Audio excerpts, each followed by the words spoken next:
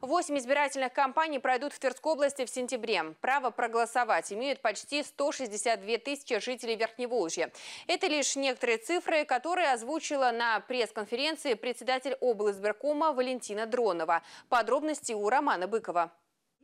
8 сентября Тверскую область вместе со всей страной ждет единый день голосования. Правда, затронет он только часть муниципалитетов. В Андреаполе и Весегонске, Вышневолочке и Торжокском районе будут избирать депутатов местных дум. В Кимрском муниципальном и Осташковском городском округах, а также в Твери пройдут доп. выборы в муниципальные парламенты. Жителям Балаговского избирательного округа предстоит избрать своего депутата законодательного собрания.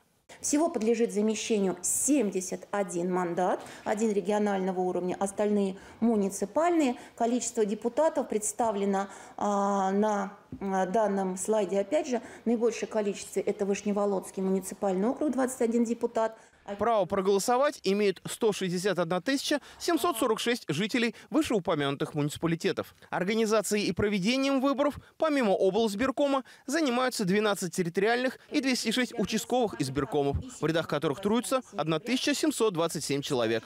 Что касается кандидатов, то выдвижение будет длиться месяц, с 18 июня по 18 июля. Документы для регистрации им необходимо предоставить не позднее 23 июля. При этом иноагенты теперь не имеют права принимать участие в выборах. Если кандидат является иноагентом, то до момента регистрации, сдачи документов на регистрацию, он обязан этот статус прекратить, представив подтверждение этого, либо уведомление от Минюста, который является держателем реестра иностранных агентов и лиц, причастных к деятельности террористической и экстремистских организаций, либо решение суда. Остальные... Что касается сроков волеизъявления, тоже сейчас известно, что за депутата ЗАГС Собрания от Балаговского избирательного округа будут голосовать два дня – 7 и 8 сентября. В остальных, как решат территориальные избиркомы.